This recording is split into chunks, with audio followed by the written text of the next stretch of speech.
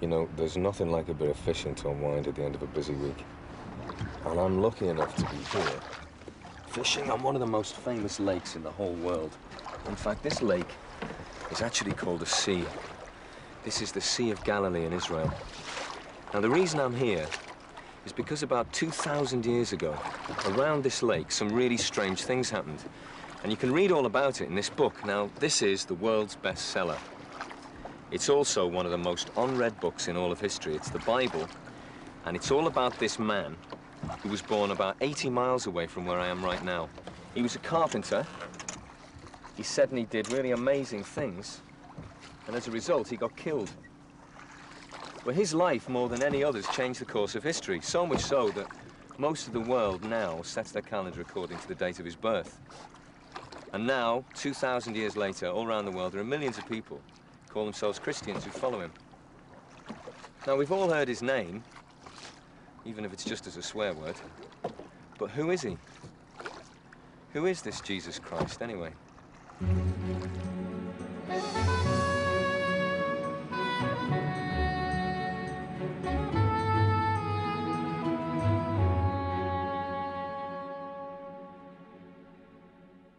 Who do I think Jesus was? I think that he was a man who was spiritually enlightened. Someone who helped people and they liked him a lot. Jesus? No idea. I don't really know.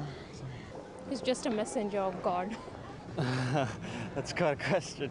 He saved a lot of people and he's a real good guy. I certainly think he was something special. Ask him. A religious icon. He was just a bloke that started preaching to people about God and that. Uh, the saviour of all mankind. Haven't got a clue. I think he was a good bloke, just like any other good bloke. A person that's come down to help us all. Jesus is the Son of God. Yeah, our Saviour. A famous person that people believe in. Oh, crumbs. Uh, the Son of God, isn't he? No?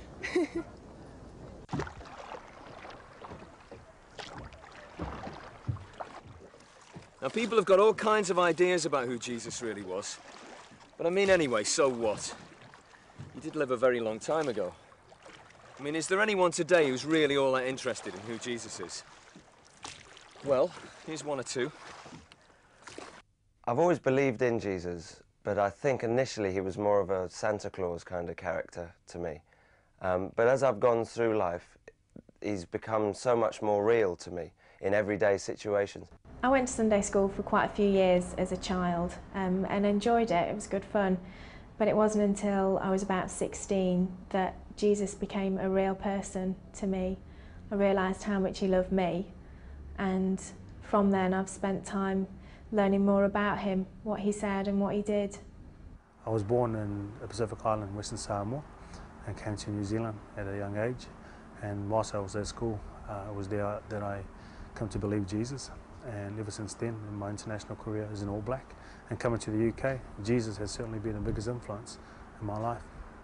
Well, I've believed in Jesus since I was a teenager. Um, I've been going through quite a difficult time because my parents had split up when I was younger.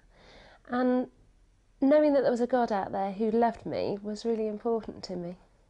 For most of my life, I thought going to church and all that Jesus stuff was only for good people. And I was far from being good. In fact, I ended up in prison for trying to kill someone. While I was there, I experienced Jesus for the first time.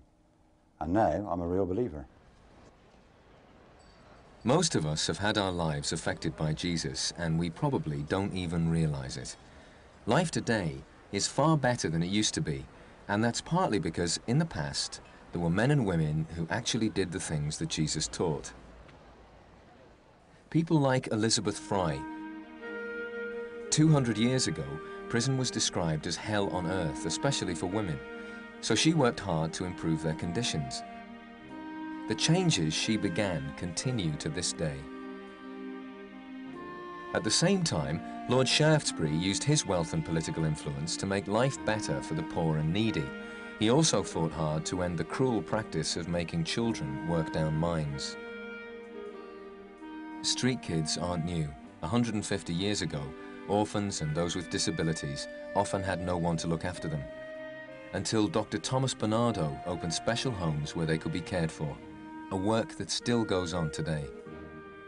British ships were among those that took African men and women to America where they were sold into slavery.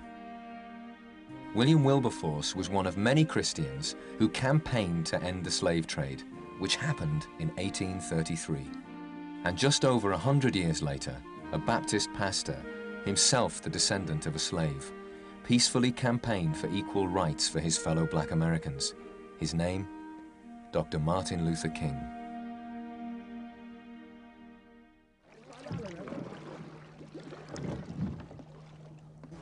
So how does someone who lived 2,000 years ago actually change the lives of people living today? Well, in order to understand that, you've got to come here, because this is where Jesus got his first ever followers. They were fishermen who worked on this lake. How you doing? Hi. Let me tell you about them. There was a gang of them, and their leader was called Simon. And Jesus gave him a nickname, Peter. Comes from the Greek word Petra, means rock. Got a bunch of working guys, and the nickname of the ringleader is Rocky. I think you know the sort of men I'm talking about here. They were tough. You would not mess with them. They would not have been easily impressed. But when they met Jesus, there was something about him that impressed them so much they gave up their homes, their families, their jobs, everything, and followed him for the rest of their lives. So what we know about Jesus right from the start is this. He had the kind of power and charisma that got that sort of response from these sort of men.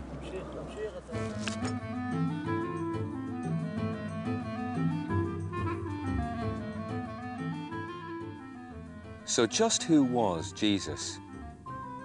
Well, the answer is all bound up in the history of this country, Israel. It goes back many thousands of years, and it's every bit as exciting as a Hollywood blockbuster. It's the story of how, beginning with just one man, a nation was born. That one man was Abraham, and he lived over 4,000 years ago in a land that we now call Iraq. Abraham believed that God spoke to him and made him a promise. He said, Abraham, you trust me, if you do what I command, I will make you the father of a great nation, a nation with a land of its own, a land filled with good things, the promised land. In these days, people believed that their lives were ruled by powerful spirits. They made models of them out of gold and silver, and they all had names. Now, these idols were what they worshipped, but they were terrified of them. They thought that by sacrificing animals and even their children to them, these spirits would be pleased and give them good harvests and success against their enemies. But the people that God spoke to Abraham about were going to be different. No spirits, no superstition, no idols, just God himself who'd be with them and be their king.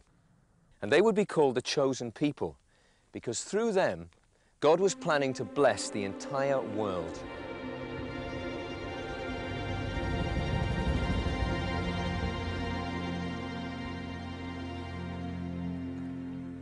So Abraham took God at his word and trusted him.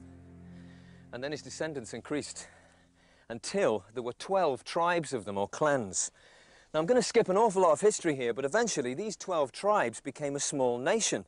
And the nation was called Israel, after Abraham's grandson, who was the father of the 12 tribes.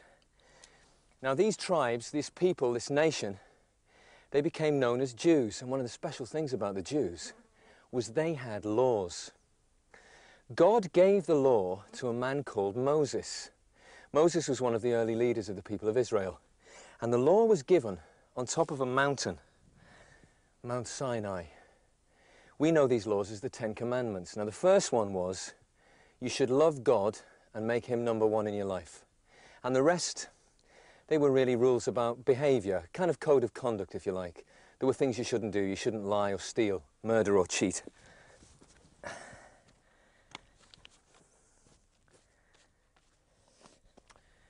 These laws were really designed for the care and the protection of the people.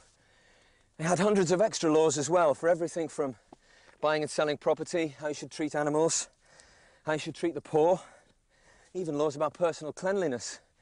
As well as laws, the people had priests. All the priests came from one particular tribe and they had a special job. They had to act as a kind of go-between between God and the people. And there were prophets.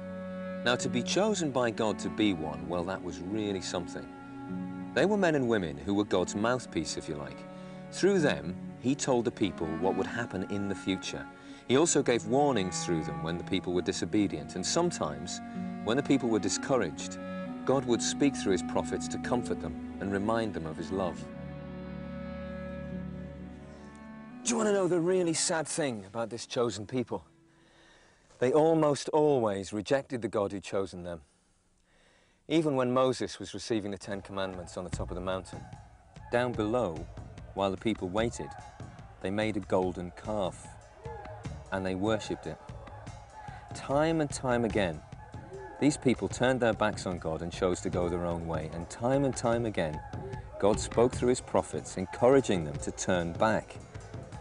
And time and time again, the people refused. You see, the real problem was in the heart of the people. You could call it stubbornness, you could call it rebellion. Call it what you like. In the end, the Bible calls this sin. Sometimes it was through weakness, sometimes it was deliberate. But in the end, the result was the same. People got cut off from their relationship with God. They forgot about him. So God withdrew his blessing, and then the harvest would fail. Then their enemies would attack them and they'd be beaten. The people suffered. But here's the amazing thing. All the way through the history of this nation, God makes one thing very, very clear. The relationship can be restored if the people will do two things.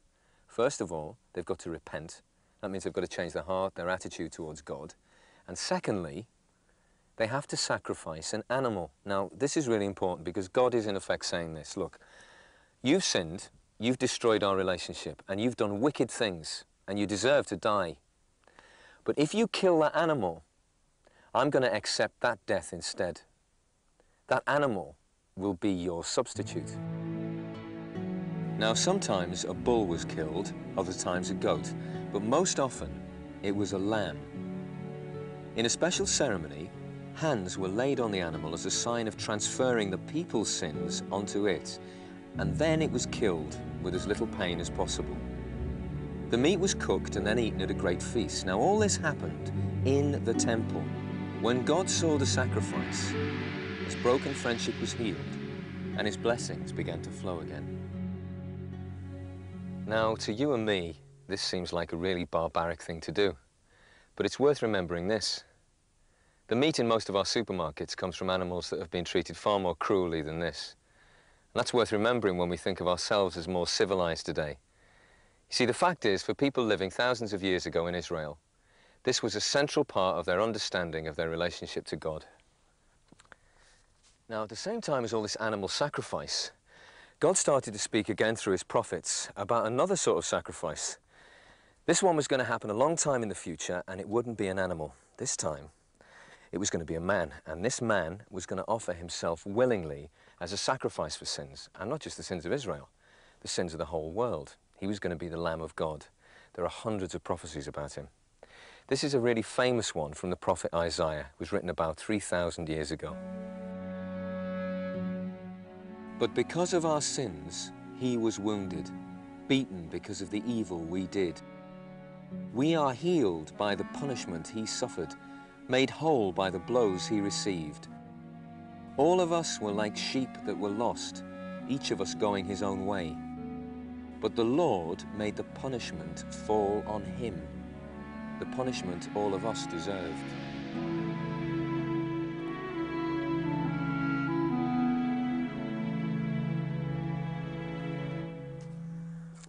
All through the early history of Israel, the people of God were waiting for the Messiah to appear. In fact, there were lots of ways you could recognize him when he did appear. For instance, it was prophesied that he was going to be from Nazareth, although he'd be born in Bethlehem, and his birth would bring great sorrow to the people of that region. So you can understand the people's excitement when after hundreds of years of waiting and watching, a strange-looking man called John came on the scene. He told everyone to get ready for the coming of the Lord. John was a prophet. He was also off the planet. He lived in the wilderness, eating only locusts and wild honey. His clothes were made from camel's hair, but God had chosen him to tell everyone that the Messiah was coming. From all over the place, people came to the River Jordan to hear him. He was the hottest thing in Israel. He told them to change the way they lived. And those who wanted to, he baptized as a sign that their sins were washed away. But always his message was that someone far more powerful was coming. Someone so great that he wasn't even good enough to untie his sandals.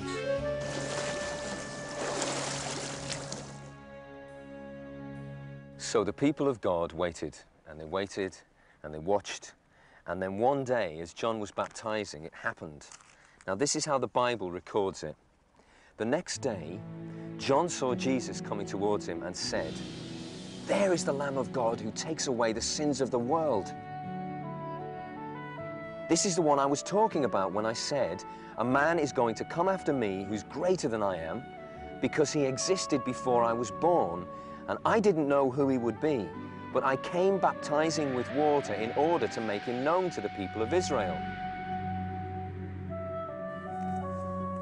Now, Jesus and John were both about 30 years old when this happened. And in fact, they were related, they were cousins. They'd probably played together when they were kids. But it was the way that Jesus was born that marked him out as something special.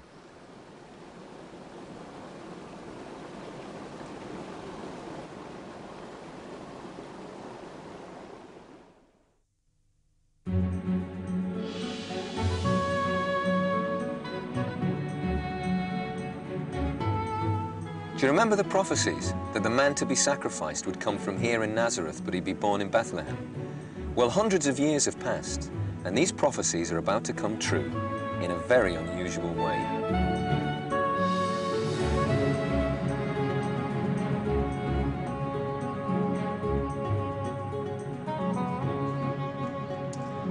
There was a girl called Mary, and she lived here in Nazareth, and she was engaged to a man called Joseph. Now, in those days, they didn't believe in sex before marriage. They hadn't slept together.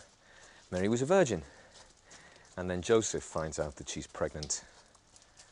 So he assumes the worst. She's cheated on him, and he decides to call the wedding off. In fact, under Jewish law, he's obliged to do that. But then, at night, he has a dream. An angel of God appears to him and says, Joseph, don't be afraid. Mary's pregnant by the power of the Spirit of God. And she's going to have a baby boy, and you are going to call him Jesus because he's going to save his people from their sins.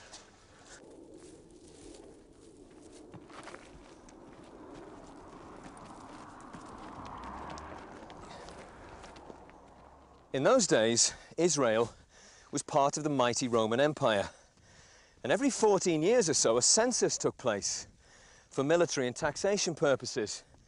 Now, although Jews didn't have to do military service, surprise, surprise, they had to pay tax. That meant that every man had to go to his hometown to register to pay this tax.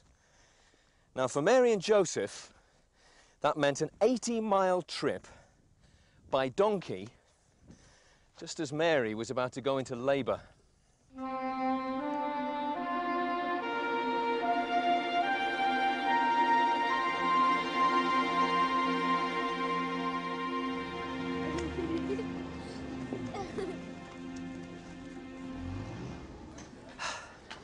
Right, I've parked my donkey round the corner because this is where archaeologists believe the first real Christmas happened. This is where Jesus was actually born. They built a church to mark the place, but uh, believe me, this is nothing like it was then.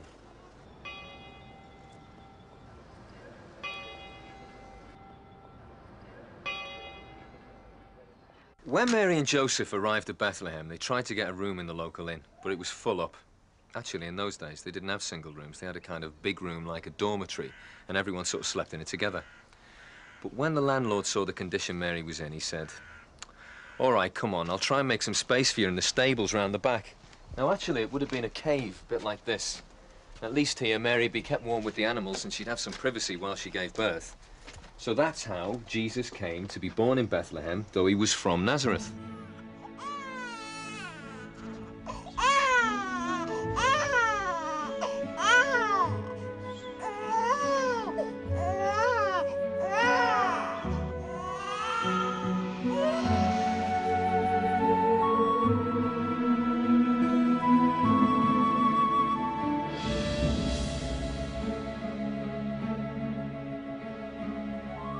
Jerusalem. is the capital city of Israel, and it was capital when Jesus was born. I'm at the museum of the Tower of King David, and it's built on the ruins of the citadel. This is where King Herod had his palace. Herod was king when Jesus was born, and he was a paranoid maniac. When he heard a rumour that a child had been born in Bethlehem who was going to be the king of the Jews, he decided to try and have him killed. But then, Joseph had another one of his dreams. And in the dream, the angel of the Lord said, Joseph, take Mary and Jesus and get out of Bethlehem. Go and hide in Egypt. So they did. Then when Herod found out that Jesus had escaped, he went berserk. He ordered every baby boy around Bethlehem to be killed. So the birth of Jesus did bring great sorrow to that region, just as the prophets had said. It wasn't until Herod died that Mary and Joseph felt safe enough to bring Jesus back to Nazareth. This is where Jesus grew up with his brothers and sisters.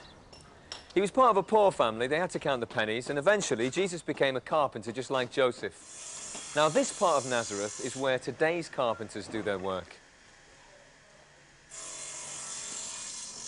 Let me introduce you to someone. This is Loai. Hi. Hello. Loai works here in Nazareth as a carpenter. He's 27, exactly the same age as Jesus when Jesus was working here, making furniture, farming implements. See, that's the whole point. Jesus was just a normal working guy, and the people hanging out with him had no idea that he was someone who was going to change the world.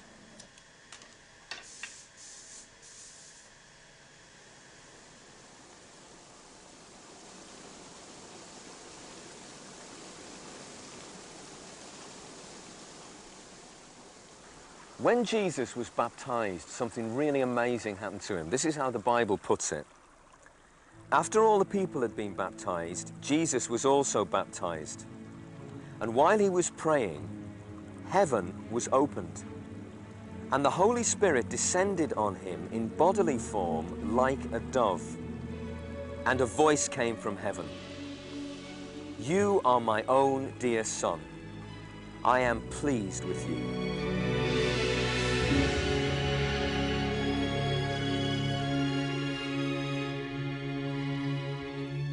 This was the start of Jesus' mission, and it was to last only three years.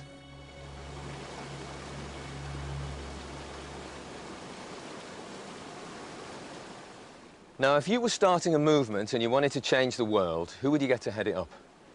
Well, you'd need some people who are rich for a start, because you're going to have to finance the whole thing, and then you're going to need some PR people, some people with political savvy, marketing skills, and you probably need a few celebrities, like musicians, actors, just to give some endorsement to your movement, give it some mass appeal. And who does Jesus choose? Some fisherman, a tax collector, a freedom fighter, and then an accountant who later betrays him. Anyway, Jesus had 12 close followers. They were called his disciples. And over the next three years, he was to teach and train these men to go everywhere and tell everyone about the kingdom of God.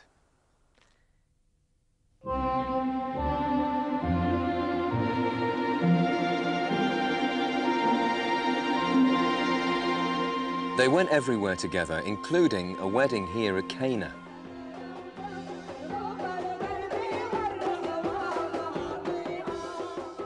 Now in Israel, they really know how to celebrate. Weddings can go on for days and they're fantastic parties.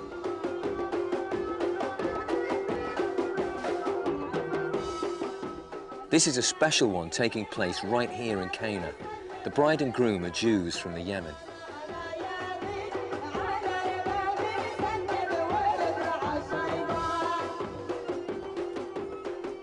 Now, halfway through the wedding that Jesus was at, disaster struck because they ran out of wine. Now, Mary, Jesus' mother, was there, and the waiters went to her and said, What are we going to do? And she said, Right, you see that man over there? And they said, Yeah. That's Jesus, my son. Go to him, do whatever he tells you.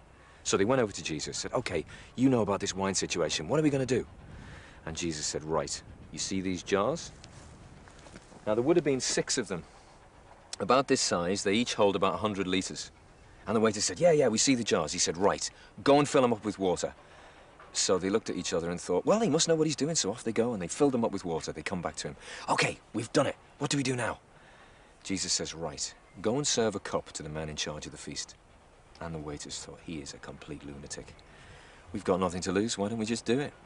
So they handed a cup to the man in charge of the feast, and he had a sip. This is a bit strange. Where are the waiters? And the waiters thought, oh no, we're really in trouble now. And he said, You've got this completely wrong. What you normally do is bring the good wine out first, wait till everyone gets a bit drunk, and then bring the rubbish out. This is easily the best wine I've ever tasted. You've got it completely wrong. Cheers. So, not only did Jesus